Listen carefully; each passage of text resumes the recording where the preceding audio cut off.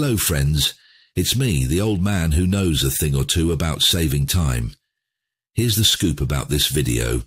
Babani Sissoko, a guy from Mali, did some sneaky stuff with magic to grab $242 million from a bank in Dubai. But guess what?